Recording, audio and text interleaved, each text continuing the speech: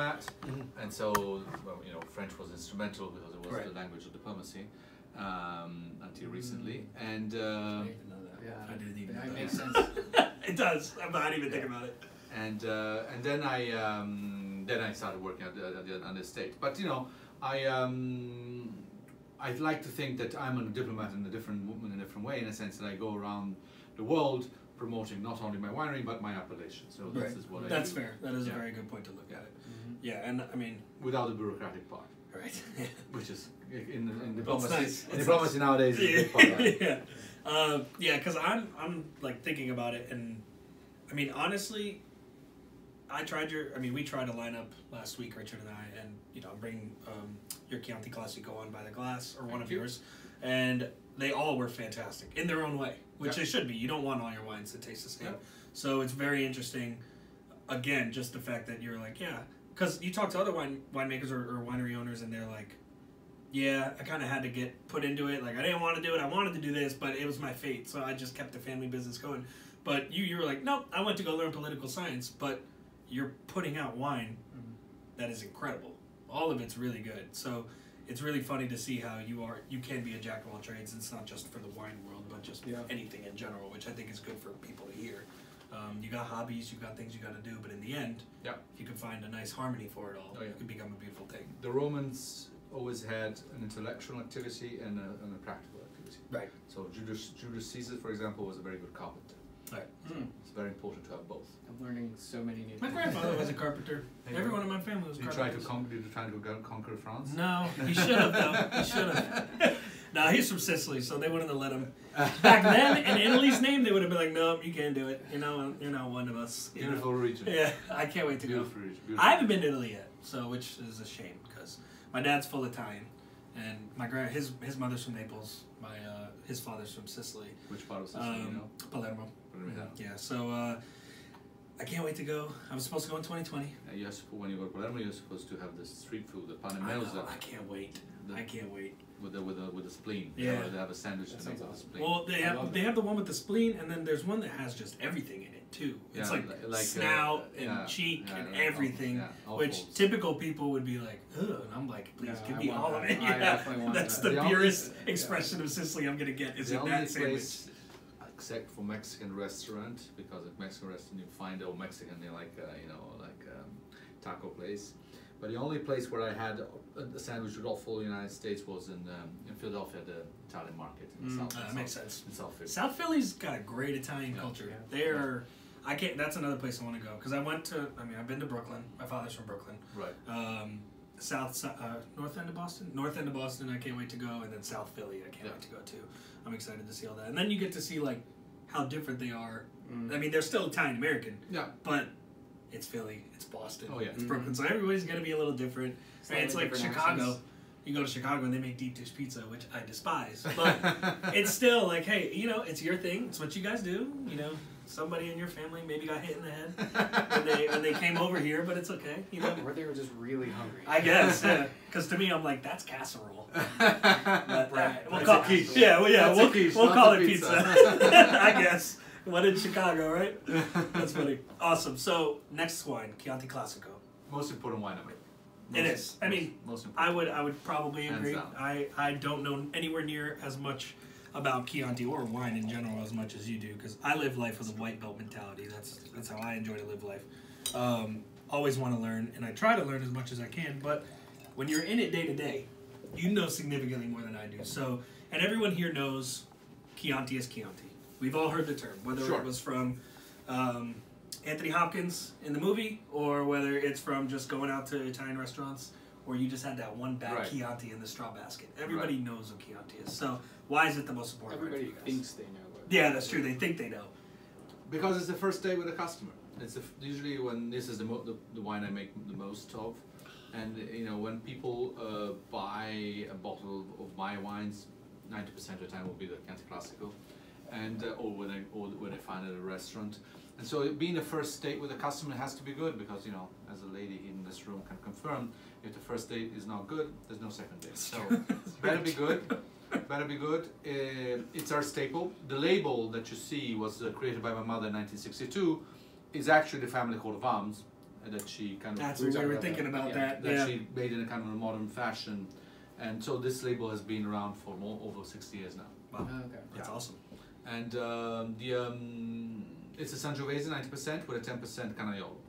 Chianti Classico is the true Right. wine in a sense that's Chian- the, made in the regional Chianti. The regional Chianti, it's one of the oldest. It's the oldest appellation in the world because the borders of the appellation were established in 1716, so 30 years before Port, which was in 1746. And uh, so port is the second oldest. second oldest. Oh, I never knew So, that. 746 That's cool. And um, and the uh, but the problem was that Italians are not people that plan. We adapt. Yeah. we have lived the moment. So what happened was There's no other way to live though. No. There's no other way to live. during during immigration, Italian uh, um, immigration from Italy and immigration in the United States, uh, the Italian community, of course, created the, the American cuisine. And what is the base of this American cuisine? What the people in Philly call the gravy or New York. Gravy. The, so the, toma- the tomato sauce. Sugo. And the tomato sauce sings with Sangiovese. Mm. And so Chianti became hugely popular at the end of the 1800s and beginning of the 1900s, but the region of origin could not meet the demand. And so there's always been a practice of making the wine the same style of Chianti in my region uh, by, by um, kind of neighboring uh, areas. And, um, and uh, so the, the, basically the wine, because of the, the original region could not keep the demand, was started to be made all over Tuscany and shipped to United States, and not only Tuscany, if I may say, and shipped to United States in uh, from different harbors. And so the Americans would drink the Chianti with the name of the harbor it came from. So they would drink Chianti Naples if it came from Napoli, Chianti Genoa if it came from Genova, and and they started making Chianti wine here in, in the United States. Still nowadays, you can go to your local Publix, Piggly Wiggly, Aristides, and buy a jug of Carlo Rossi Chianti that is made in Central California. my grandfather drank. it. Mm. they always had a jug of it. Yeah. because the wine completely lost the sense of place and became a style of wine. Yeah. And this, the producer from the regional area from where everything started did not fight this practice. They only woke up in 1924 by founding a consortium for the defense of typical wine of Chianti and its trademark, which is the Black Rooster. Right. But it was too late Yeah. because already looking at 50 years of gain rights, the government wanted to push the sale of Chianti because it brought fresh cash into the country.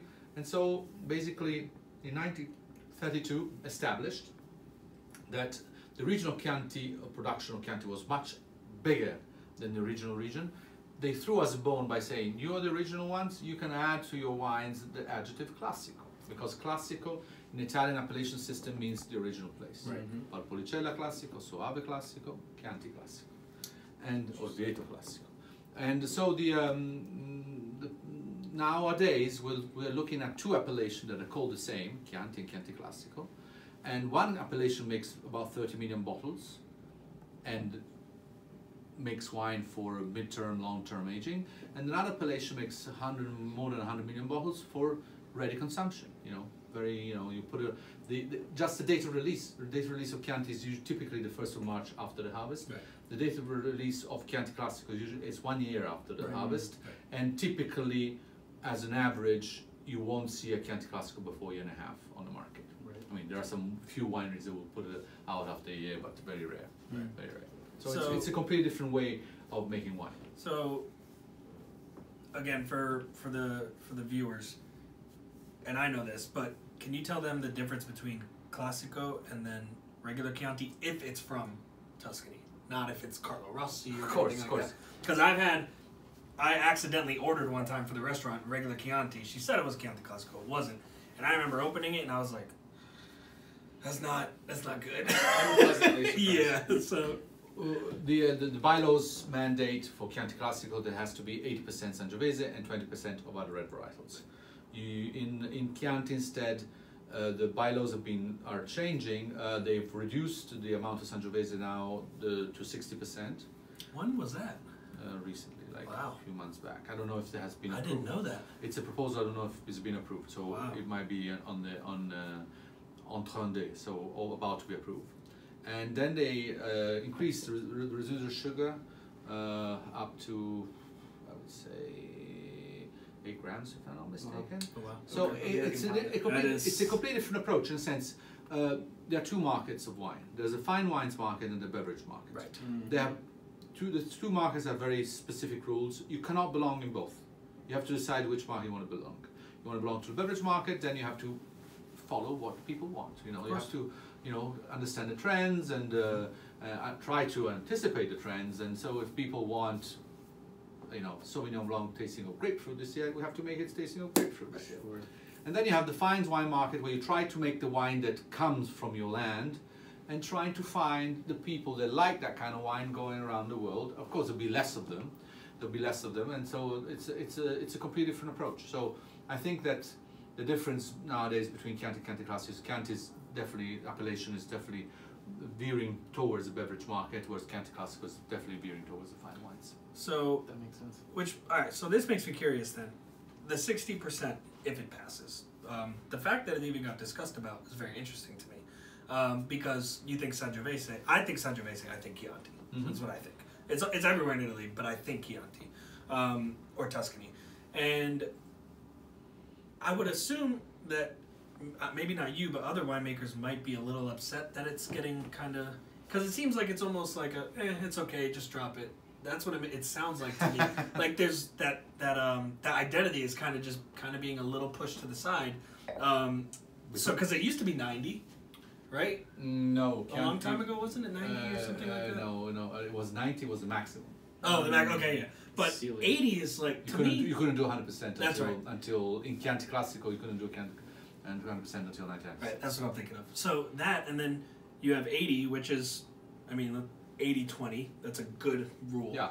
But anything below that, I would. mean, 20 could be 90 to 10 and it could be 100. Right. I mean, Um, 80 is the minimum. Right, but I would think anything below that is almost like pushing it Well, a way for, for the identity of Sangiovese and Chianti Classico. But It's- you being you Well, know, Chianti Classico is not, uh, you not part of this because well, Chianti true, Classico true. is a- well, Chianti in general. Chianti in general, probably because they're veering towards a different path. You know, they're taking a different path. They think that probably they uh, they should have more leeway in the making of the wine and probably adapt the wine to the, what the market needs. Sure.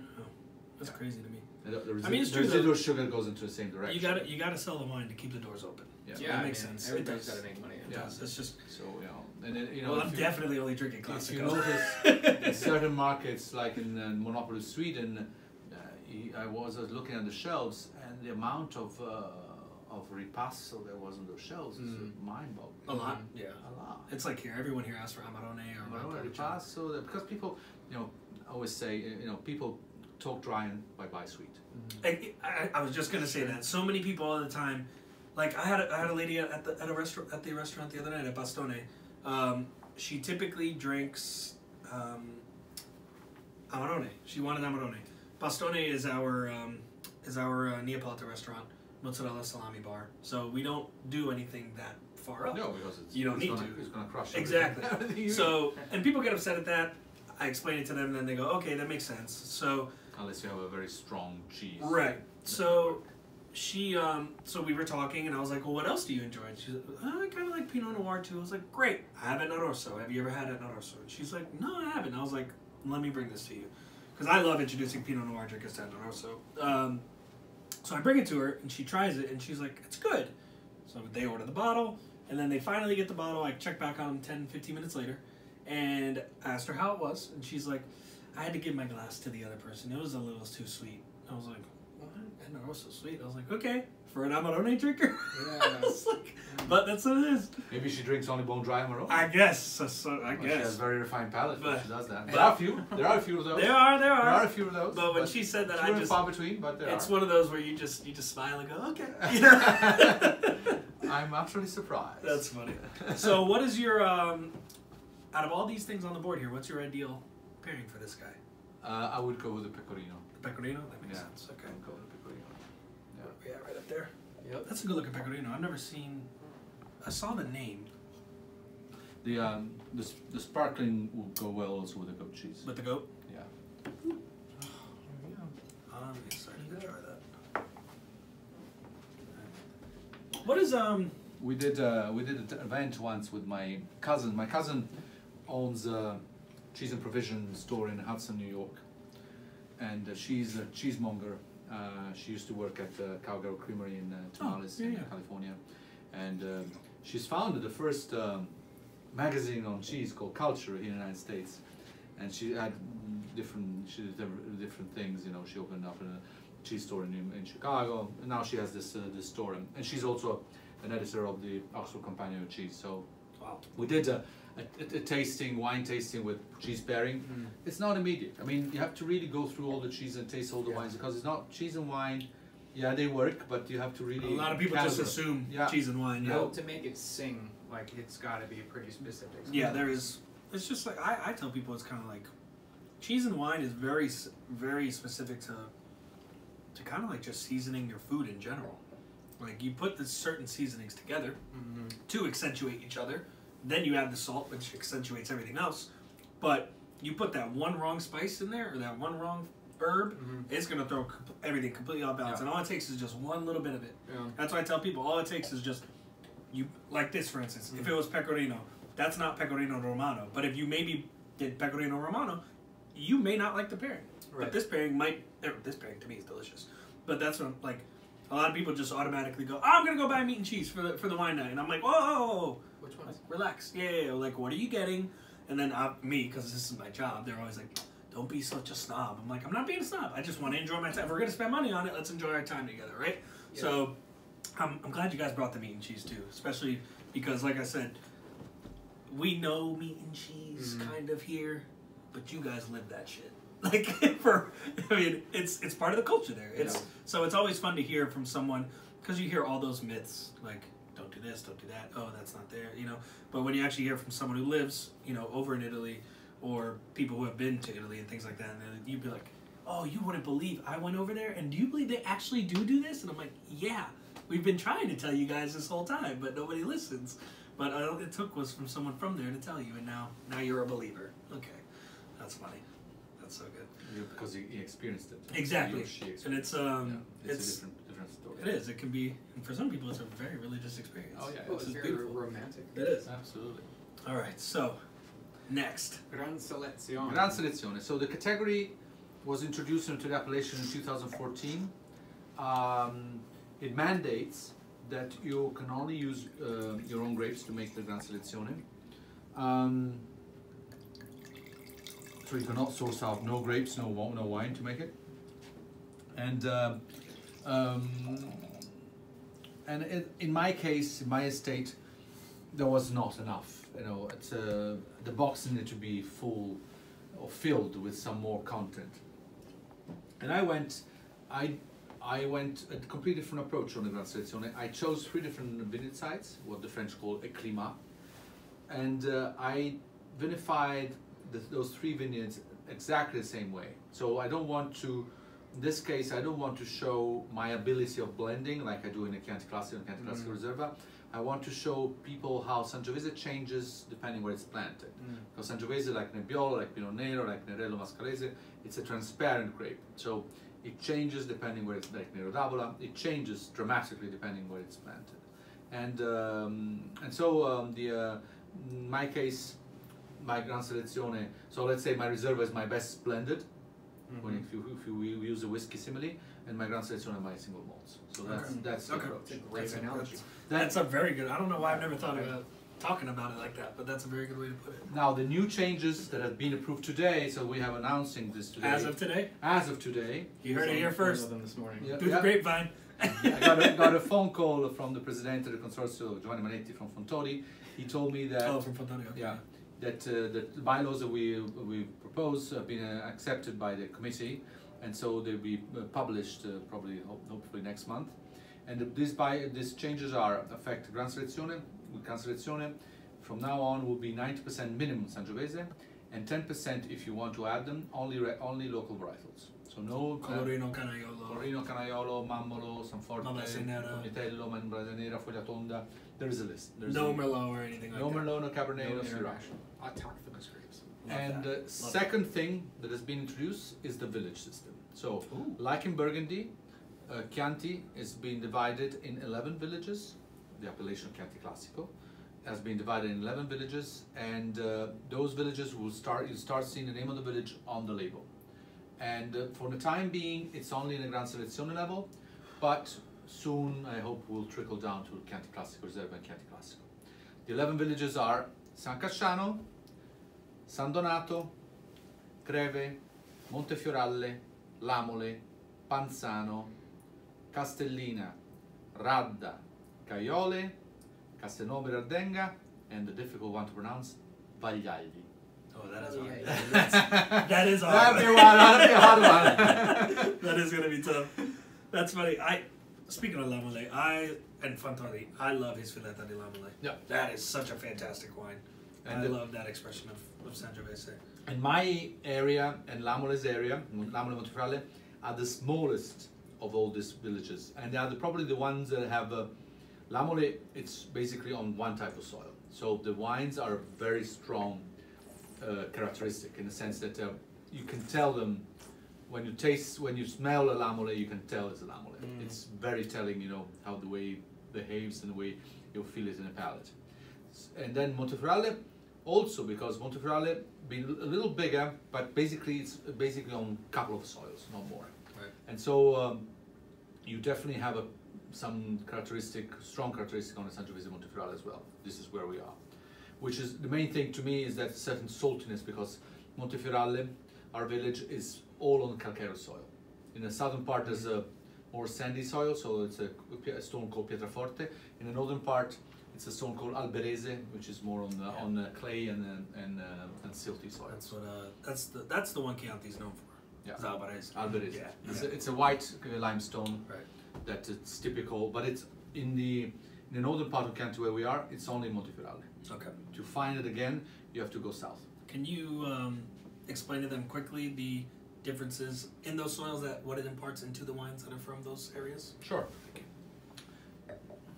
Uh, typically, when it comes to uh, to soil textures and affecting Sangiovese, I'm, I'm generalizing, of course. Uh, when it comes to color, the sand will give the lightest color to the wine. Then silt will be a little deeper, and clay will be even more deep. In terms of tannic structure, the, the sand will have the finest tannins, Right. then the silt, and then the clay. In terms of acidity, the sand you feel it up in a high cheek, Hmm. whereas in usually in the, in the, in the silt and the, and the clay you feel it more more here on the, on the side here. It goes very high, high cheek. Uh, That's what, how I tell if it's a, it's a sandy soil or not. That's Interesting. usually what I, Wow. I look. No one's ever taught me that, and I never, I haven't read that before. That's, that's very interesting. But it makes sense because I mean, when you drink Nebbiolo, it's Yeah. all here, Mm. Yeah. all here. Yeah. Same with Nebbiolo, Aglianico. Nebbiolo is, I mean, the Barolo is mostly on the clay or silty soil. Exactly. Right. There's very little, if you find one sand, you have to go to Roero.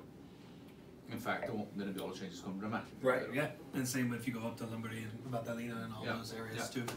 I love introducing people to Valtellina because Nebbiolo from Valtellina is totally different. Totally, It's yeah. still Nebbiolo, but it's totally different from what different, people are used to. So I always love doing side by sides for people that Mhm. I love Barolo. I only drink Barolo. I only drink Barbaresco. I'm like, are you sure? Because you might want to try this one too. Because with that dish, you don't want Barolo. Yeah, but it's like you know, I love Young Frankenstein. I've watched that movie like ten times. Yeah. You know, I can't. You know, there are a lot of movies to There's watch. a lot of movies, yeah.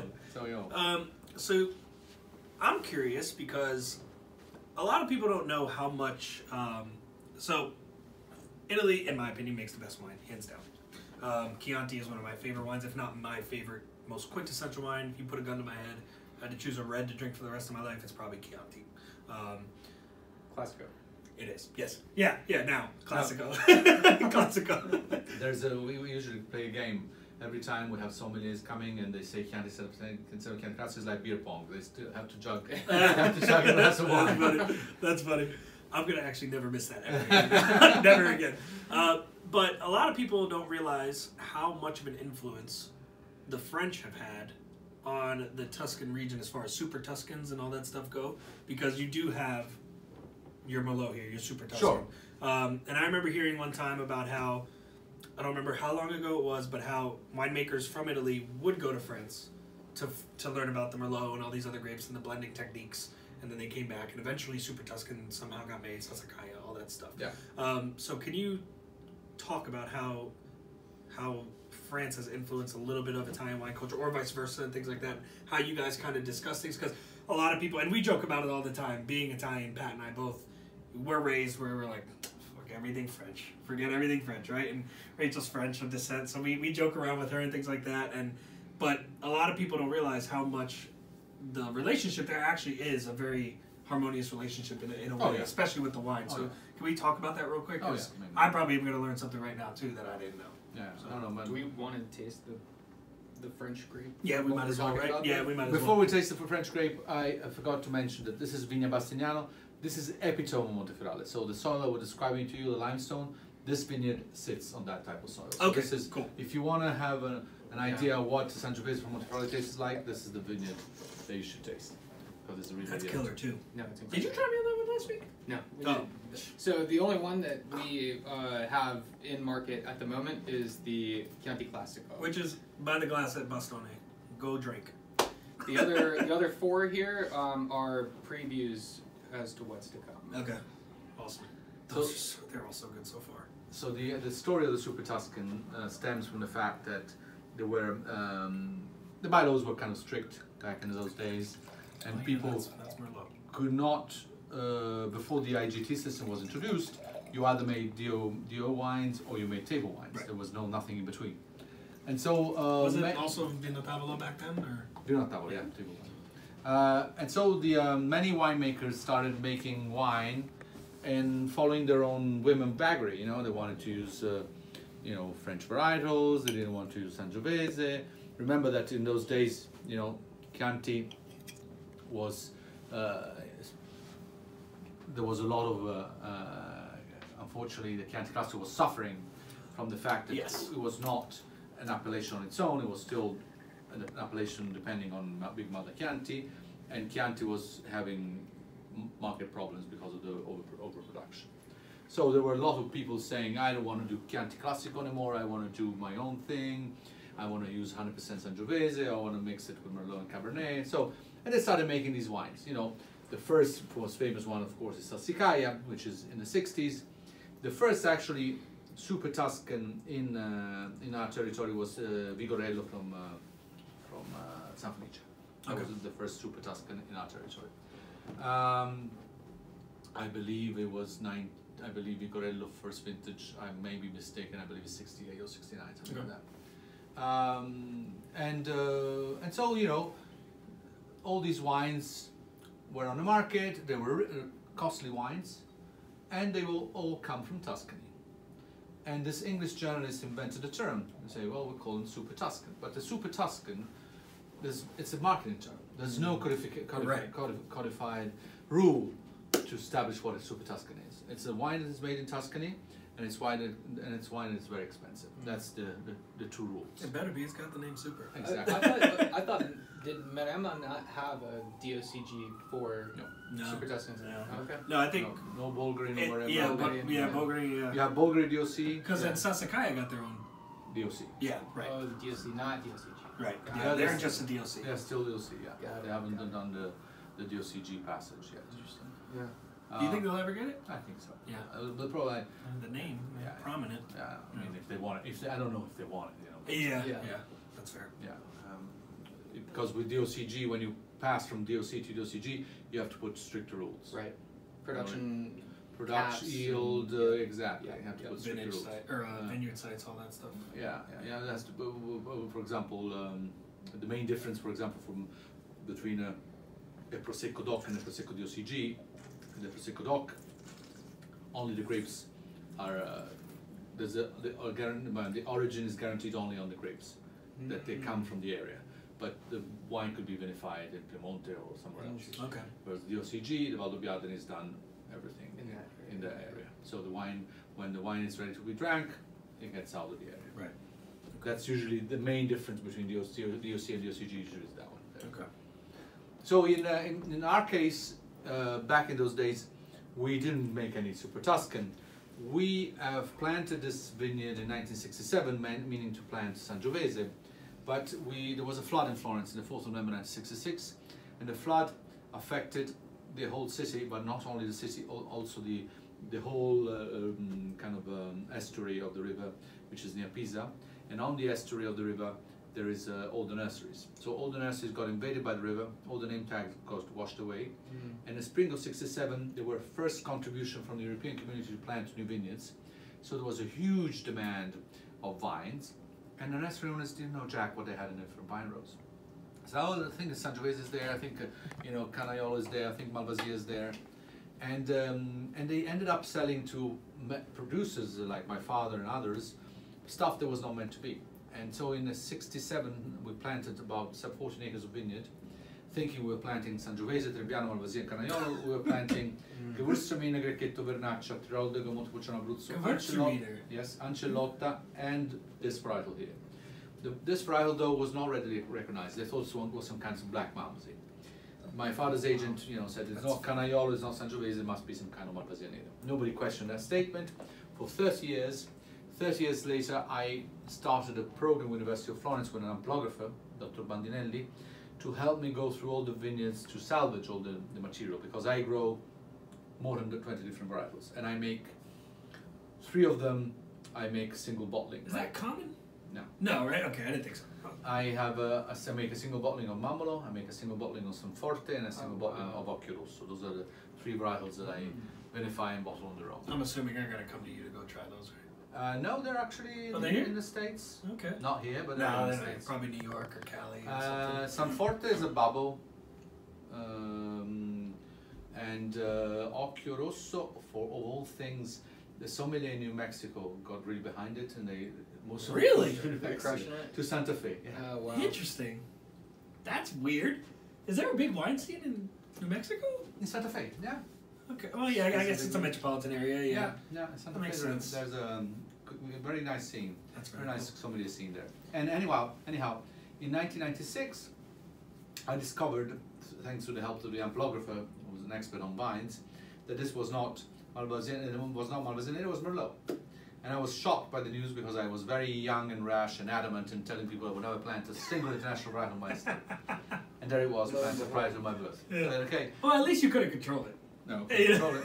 it's kind of off The- your Gambita will join them. Yeah, right. In 1997, the following year, I started making my first and only Super Tuscan. And I started making a Super Tuscan 20 years later than the old phenomenon started, so Mm. when the phenomenon was already on the dwindling side. That is funny.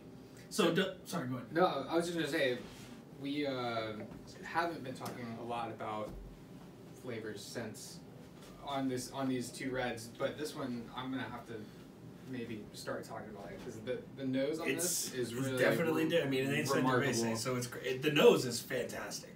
the amount of uh, broken leather and um, rich stewed fruits coming out of this is It just does kind of sound like or smell like going into like a horse stable in a way, which is funny because you typically get that of Chianti. Yeah. Class- We were actually just talking about uh, Brett uh, uh, right before here, and I don't. I would not consider this like super Brett tea, but I would definitely consider it like you know it's got that really organic kind of uh, hay hay sense and, and Yeah. you know on the farm kind of thing going on, and yeah, it's it's extremely rich, which So- is amazing. I always, I, I mostly only drink Italian wine. I mean, the, the restaurant group we only do Italian wines. Um, I grew up only drinking Italian wines. I don't necessarily. I love wine, but I don't necessarily care to learn about other wines. I just Atlanta doesn't really have an Italian wine person, so I'm like, you know what? I guess I'll take that role.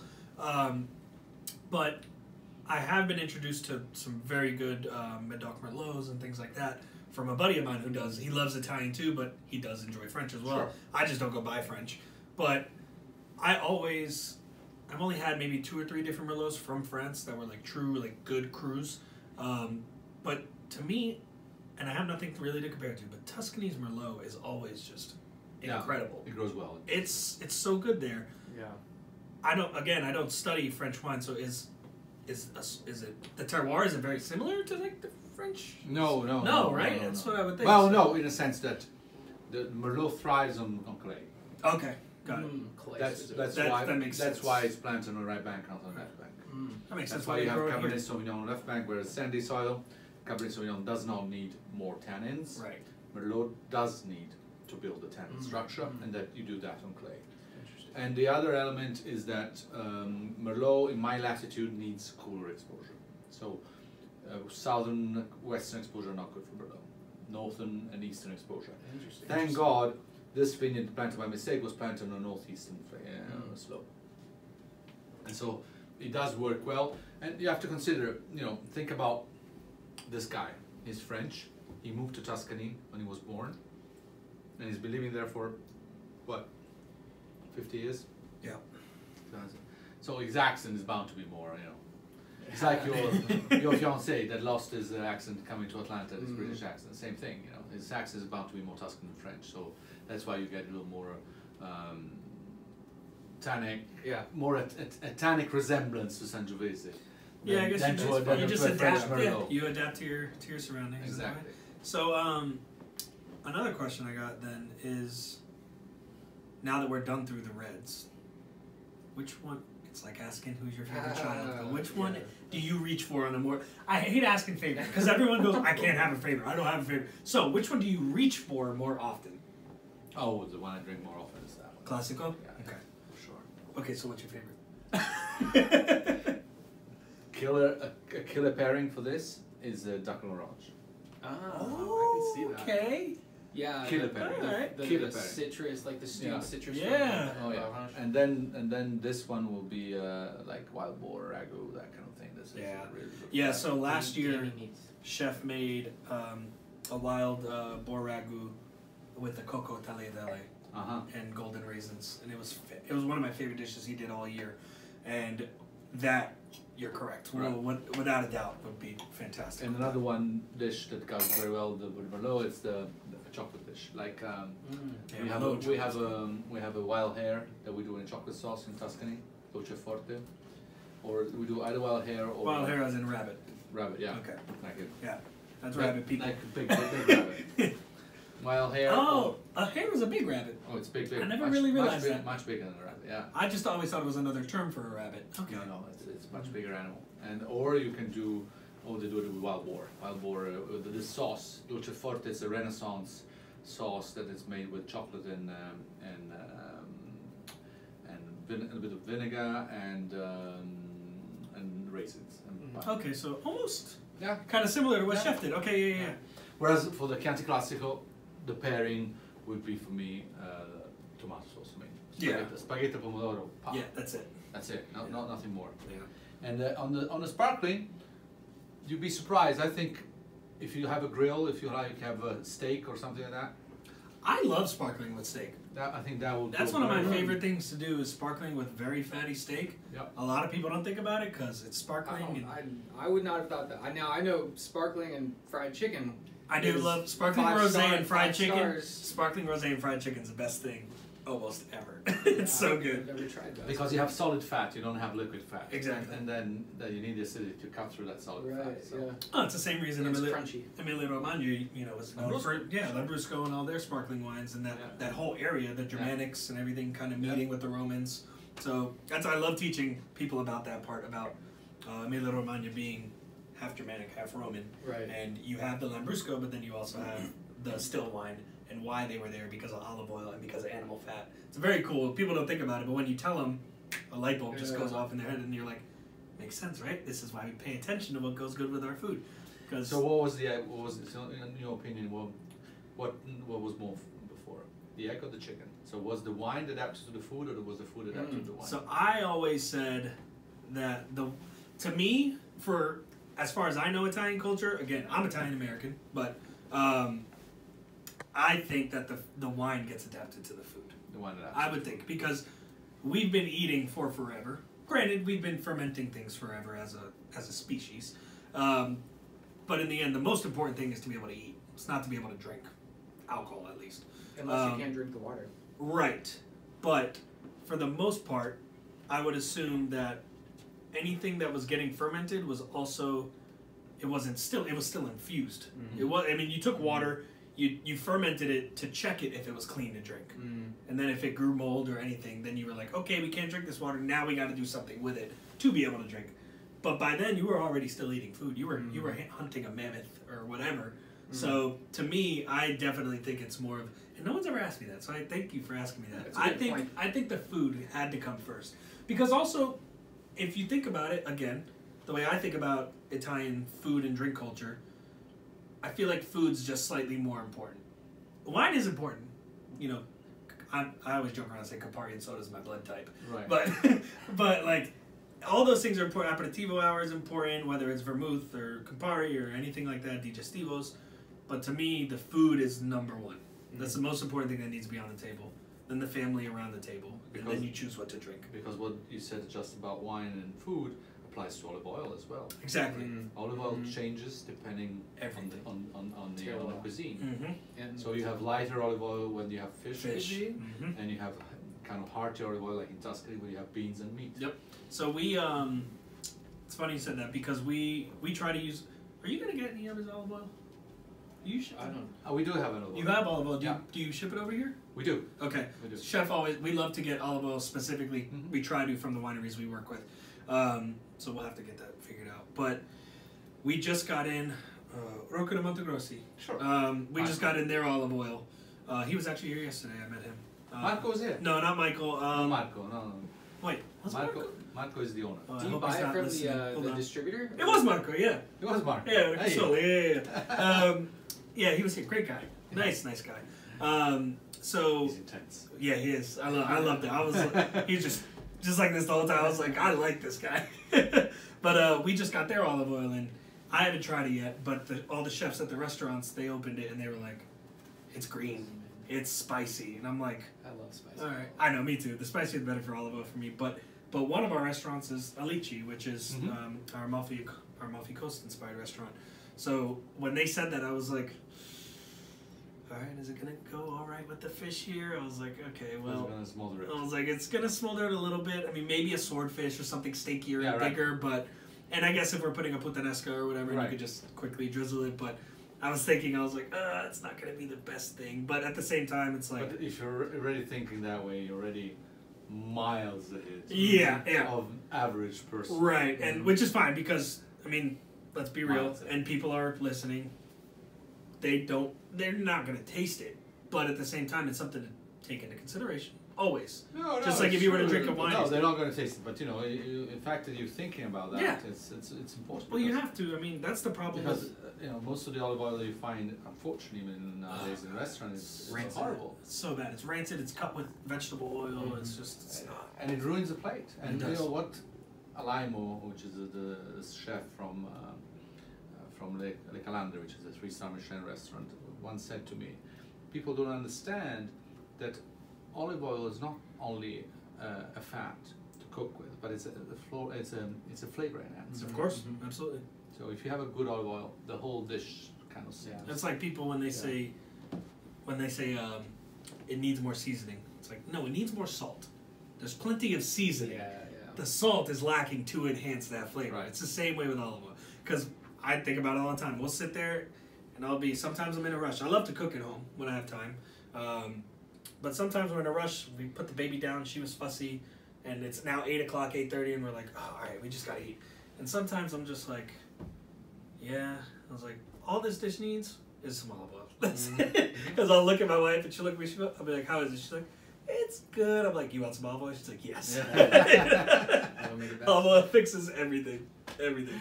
Oh, it That's does. so funny. And the, and the funny thing, I always tell people, you know, that you you prepare to put a gallon of I don't know sixty dollars, seventy dollars oil in your car, but you're not prepared to put, you know, how much?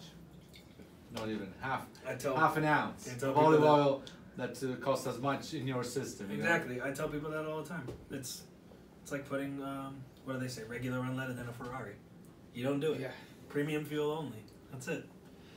Uh, yeah, I'm kind of upset. I didn't think about that. I just rinsed my glass out of bad. water, but I got sparkling right here. Yeah. I mean, you still can. Well, how is it? How different is it now that it's been opened and it's a little warmer? Um, no, I mean the. A little different, a little bit. It's pink now. now it's a little- now it's sparkling rosé. Oh, that's so good. God, the acidity, I can't get over it. It's so delicious. It makes my mouth water. What time are we running there right now? Because I know he's got a, a thing to go to. Four fifteen. Four fifteen. Oh, All right, we're you good. got a car. All right. All right, let's go on to the Vinsanto. Minsanto. Car of four thirty one. You drive or you? Uh... No, I parked here. I had to extend my Oh, extend the time. Yeah. extend the time. Yeah, they suck here. Chuck, that's here. The what? Chuck, The truck? Chuck. Chuck, Chuck. Chuck. What Chuck? He's here somewhere. for a podcast. Oh, is he? No, Chuck. Chuck is with us. Okay. Oh, I I was like, up. what? I don't know. Do you want me to send him up? Yeah. Uh, sure. Yes or no? Yeah, yeah, yeah. yeah send him up. Yeah, it's fine. I was like, wait, I didn't book another podcast. I thought Chef did for a second. That freaked me out. See, he works for He's with us. Oh, yeah, okay. yeah. He's our uh, wine and spirit director. Oh, cool, cool, cool. Yeah. So, Oh, Vinsanto. Vinsanto. Trebbiano, 70%, 15% Malvasia Bianca, and 50% Canaiolo. Oh, So the color that you see is given by the Canaiolo and Canaiolo. the, and the wood aging. interesting. So we hang the grapes on rafters, we pick them when they ripen, so not overripe, just ripen. And we let them uh, hang for when they reach, until they reach 350 grams of sugar. I've never smelled a Vinsanto like this before. No? No, I mean, It's incredible. why is it so nutty? That's not typical of Vinsanto. Yeah. I mean, for me, like I've never had. It's like a, It's almost sherry esque. Yeah. Yeah. Almonds and Is that the honeycomb. colo- uh, the- yeah the Canaiolo? no, no, no, it's, it's a process. Oh, it is. Okay, It's a good. winemaking Good. I cut you off. So please the, tell the me ox- about the, the process. oxidation, the oxidation process. Wow, that is incredible. Is this, it's still sweet? Oh, yeah. Yeah. Okay. But the, the, the, the, the, the Trebbiano, which is the, what the French call Sauvignon Blanc, the, Right. the grape they use for brandy, Of course. for cognac, it's the one that gives the backbone to the wine. Mm. So the backbone is done by the Trebbiano. Then you have uh, an addition of Canaiolo Malvasia Bianca that gives a little gentleness, and the Canaiolo adds fat. But you have to be careful with the Canaiolo because if you have add, add too much, it, the wine tends to sit. And the aging of the wine is done in small barrels called caratelli, about 10, 10 12 gallons um, barrels, so small ones, and it's aged for 10 years. So to make this bottle of wine, you need 8 pounds of grapes and 10 years of weight. For that little bottle. Yep. Eight. Goodness gracious. That explains why Vinsanto can be expensive. A lot of people don't want to spend the money on it because they think it's expensive, but then they'll go spend money on Sauterne, and I'm like, you're paying for the same. Oh, you're not paying for the same thing, but in it, ideally, you are. But I guess the name Sauterne versus Vinsanto, that's crazy to me. That well, is and so then also Sauternes botrytized, and this is not right. There's no No Botrytis. choice. No, if there is, it's not. Look, uh, we're not looking for it. right. Right. Not It intentional. may have no intention. Mm. And the advantage of the Vinsanto being a wine obtained by process of oxidation versus a Sauterne, which is obtained by process of reduction, is that oxygen is not an issue anymore. So you can right, keep the right. bottle half empty on your counter for weeks, months, nothing would happen to it. That's true. I do love being able to have it in my fridge at the restaurant for a month, just in case nobody orders it. That's nice. And it, it should be sold by the glass. That cheese is crazy. Yeah, that's um. What is that? I'm not super familiar. It's Italian? Well, it is, but it's in, It it's is? from Barolo. Mhm. Um, That's why so I don't know about it. Testun al Barolo. Testun. Testun. Testun. Is it Mm. cows? Yeah. Yeah, okay. So it's Ubri- Ubriace. Ubriaco. Ubriaco. Yeah. So Wow. with, um, with the skins of the. Oh, Nebbiolo's on there. Yep. So those are Nebbiolo grapes. Skin on, skin on the bill. Dude, that is insane. It's very good. Again, Wow. shout out Capella cheese. Uh, Yeah. If you're looking for nerdy cheese, that's. I know. I saw them opened up. the I place still to go. gotta go there. I was like, at first when they opened was right after we. um Well, I don't know if it was after we opened Bastone or when we like Mm. we were a good bit in announcing that we were doing sure. Bastone, and because of the pandemic and everything, it got pushed back and pushed back and pushed back. But everyone was so excited for a, a mozzarella bar because we, we stretch it to order and all that, and then the, the, I saw they uh, them pop up and I was Mm. like, they stole our thunder, you know. Well- but I was like, nah, I they probably were planning to do it too because it's they do stretch mozzarella there too, right? Yeah, but it's Yeah. also more of a shop and less. It's not. no, it's not a restaurant. Yeah. Yeah, yeah, yeah. But I remember I, I sent it to Pat and I go, oh look, here we go. but no, they are. This is this is a great little spread. That is. I almost dropped the board. I wasn't expecting. I didn't know it was real marble. When I Oh, picked no, it it's up. I was like, yeah, whoa! yeah. I was like, Rachel too. She was like, this is really heavy. But no, everything's been really good from that. I really enjoy it, especially the, the goat cheese. I still haven't like gotten into it, but I was telling Richard before we started recording. I accidentally dipped my knuckle in it when I was unwrapping it, Yeah. and It's then I licked off my knuckle, and it was It's so good. it's high acid too. God. Oh, yeah. Like- And um, Oh, that's also from Piedmont. yeah, it's all, Okay. all Piedmontese. Apart apart from the pecorino, which is Toscano. Right, right. And the reason why it's called Vinsanto. Well, the pr- the is- prosciutto's t- Toscano too. Prosciutto right? Toscano, yeah. Okay. Well, it's prosciutto salato, I believe, is Toscano. Yeah. yeah. Okay. Um, the reason why it's called Vinsanto Holy Wine because it was used in ch- in um, for sacraments, so it was used in church. Mm. So the people, the priest could keep it in the sacristy uh, for weeks, and the wine would not get spoiled because it was already oxidized. So you know, unless he was Irish, you could use it for multiple masses. So, um, speaking of oxidized wine, since we're on this before we're gonna wrap it up and, and all that, did you know? Nobody has it in this state, unfortunately, but you probably know this. But you know Ver- uh, Vernaccia di San Gimignano. Mm-hmm. There's a Vernaccia in Sardinia Yeah, that's made. Yeah, the Oristano that's made into an oxidized wine. Mm. I can't find it anywhere. Delicious. Mm. Yeah, I've heard it's incredible. Very good. Yeah. Contini. Contini. Contini is the one. Okay. Is of it one the same grape or they just call it Vernaccia?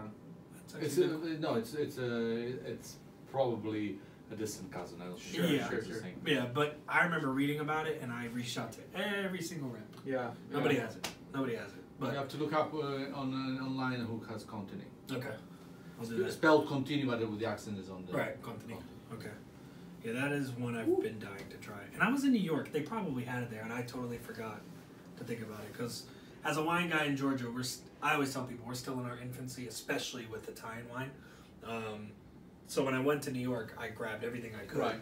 wrapped it up in clothes, put it in the Yeah. bag, checked the bag, and all that. But I didn't think to look for Yeah. Vernaccia. The Vernaccia Oristano for Alici, when if you do a Kuge and that kind of stuff. it's- Yeah, oh. exactly, and that's why That- I, that's that's why I looked for it. I was like, oh, Alici's opening up. This It's is like a manzanilla right. Mm-hmm. in style. Yeah. A little more depth than a manzanilla. We have but um, like a manzanilla. we have a Sardinian vermouth from, or a, a vermouth from uh, Sardinia, uh, Silvio Carta. Oh. Yeah. That stuff's killer. Mm. Oh man, that's good. So that's like the only thing. It's the only option I got right now until I find the other stuff. But, um, well, this was fantastic. Yeah. I Thank really, really much. appreciate Thank it. you for having me. And I'm glad. I'm glad you guys enjoyed this. At least I hope. No, it was did. amazing. No. So I know Richard was excited to be on. He Yes. was like, Sebastiano's gonna love it. This is gonna be great. Um, is there anything you, as a speaker for the world of Chianti, would like to tell the viewers or any Americans in general about Chianti that Always maybe- check for the chicken. always check for the rooster? Got it. Always check for the chicken. Black chicken, always a black rooster. Look for that. That's the will will tell you that if it's a real deal or not. So how um, how im- like to you guys, how important is that? The black rooster, Yeah, because there's some black roosters where I'm fundamental. Yeah, because I've had some where I'm like, eh, it's okay, but then you know, like yours and other people, I'm like, oh, Yeah. it's so good. Yeah, I don't But- know. As an, I think the appellation, the Chianti Classic appellation, on average, is the uh, one of the appellation that delivers the best wine in Italy right now. Awesome. Right now, yes. Awesome. I agree. The- uh, Richard, anything you'd like to leave them with? Uh, no, I appreciate y'all having us, uh, especially for these. You know, it's always nice having new products that haven't quite met the market and getting people like you excited about them. Yeah. So um, it helps us test and keep our finger on the pulse of what people are drinking, and there's no better place to do it than here. So thank you for that. Oh, thanks, man. I appreciate it. Of course. Guys, thank you for watching. This has been might be one of my favorite episodes we've done so far. Meat and cheese Especially because I had food. That's always good. We always wanted food, but we always are too busy, and then we just go right into drinking wine. So uh, this was awesome, guys. Thank you for watching. Have a great day. Thank you. Thank you.